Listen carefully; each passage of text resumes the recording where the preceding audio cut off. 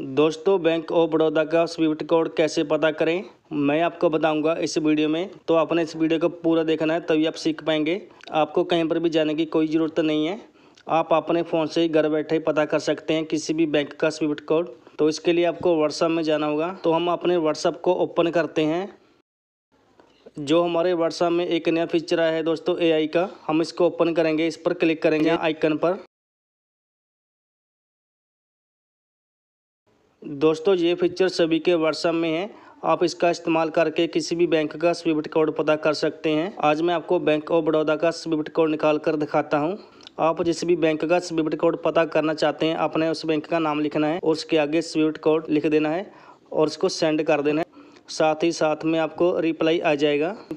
हम यहाँ पर bank of Baroda swift code लिखते हैं।